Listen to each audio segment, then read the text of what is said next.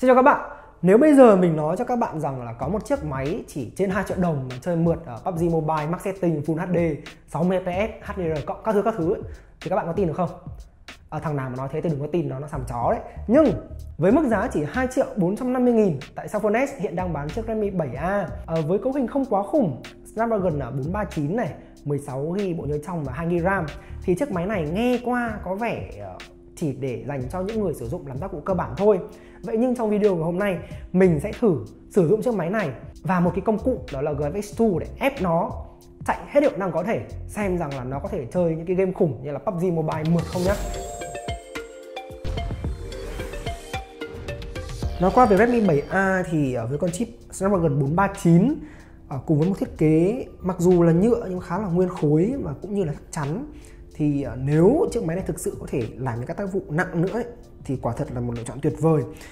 Ok, đây chính là giao diện chính trong ứng dụng của chúng ta. Các bạn chọn phiên bản mình đã sử dụng phiên bản Việt Nam 0.13.5 ứng dụng này thì cho phép chúng ta tùy chỉnh hầu hết các cái uh, cài đặt ở trong game về đồ họa như là resolution độ phân giải này đồ họa mình sẽ để là so smooth cực kỳ mượt. FPS nó cho phép mở khóa. Mình sẽ mở khóa đến 60 FPS này khử răng cưa tắt các cái ờ, khác thì để lâu hoặc là tắt hoặc là để mặc định hết. Tất nhiên rồi một chiếc máy cấu hình không quá cao thì mình cũng không thể yêu cầu nhiều. Mình sẽ để cho ứng dụng này tự tinh chỉnh và tối ưu với máy. Rồi accept run game. À, có vẻ như là vào game thì vẫn loát chậm như cũ thôi. Tất nhiên rồi GFX2 thì nó cũng chỉ là một cái phần mềm mà tăng tốc và giúp tối ưu hóa cái hiệu năng của máy thôi mà hiện tại thì mình đang ở trên cảnh ở trên máy bay và tất nhiên rồi. Tí nó sẽ hơi giật lắm một chút, tí nữa khi nhảy dù nữa thì nó cũng sẽ không được ổn định cho lắm. Thế mình chỉ lút đồ cơ bản thôi nhé rồi bây giờ mình ra bắn nhau luôn này. Để test xem là ra ngoài nào.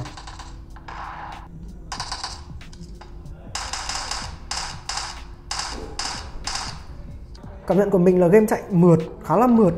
Mình ờ, từ đây giờ các bạn có thể thấy là mình di đi di lại, máy rất là nhiều và nếu không có cái hiện tượng khựng hình hay là bị lag gì lắm thực sự cái chuyển cảnh cái đồ họa trị hiệu ứng chuyển cảnh khá mượt. Từ từ bắn thằng này đã rồi nói tiếp.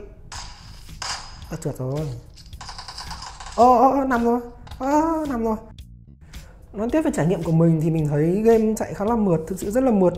Tuy nhiên là cảm ứng trên máy thì không quá nhạy. Mình không nghĩ cái này là vấn đề do GFX2 mà là do chiếc máy nên thôi. Đôi khi mình phải vuốt tay khá là nhiều thì máy bắt đầu mới nhận. Và cái đấy nó không phải do ping nhá. Mình mình à, mình biết thế nào là vấn đề do ping nhưng mà cái đấy rõ ràng là cảm ứng máy không quá là nhận chất lượng đồ họa thì bị giảm sút khá là nhiều như các bạn có thể thấy. Ở đây, cái cây này, bóng ờ, trông cây thành ờ, cây thành cả cỏ ba, lá ba cạnh gì thế luôn. Nhìn xa thì vẫn nhìn được, nhưng nói chung là các cái texture, hiệu ứng rồi chi tiết, nhân vật các thứ đều giảm xuống mức thấp nhất hoặc là không còn.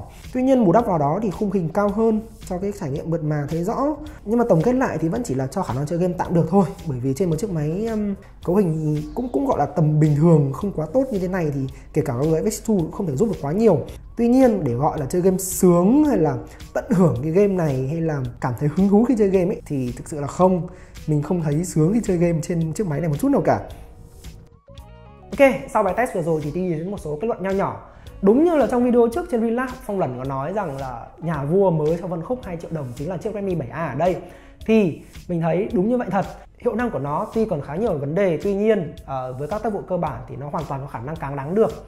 Bên cạnh đó, nếu các bạn biết uh, sử dụng nó đúng cách như là mình sử dụng GTX 2 để chơi PUBG Mobile vậy thì cái hiệu năng nó có thể được khai thác tối đa và hoàn toàn có thể đáp ứng những cái nhu cầu cao hơn liên quan đến tác vụ ờ, đồ họa nặng như là chơi game hay là xử lý những cái việc khác chẳng hạn. Vậy các bạn nghĩ sao? Các bạn thấy chiếc máy này có đáng mua trong tầm giá 2 triệu đồng hay không? Hay là trên 2 triệu đồng thì còn những chiếc máy nào khỏe hơn mạnh hơn đẹp hơn thiết kế tốt hơn nữa?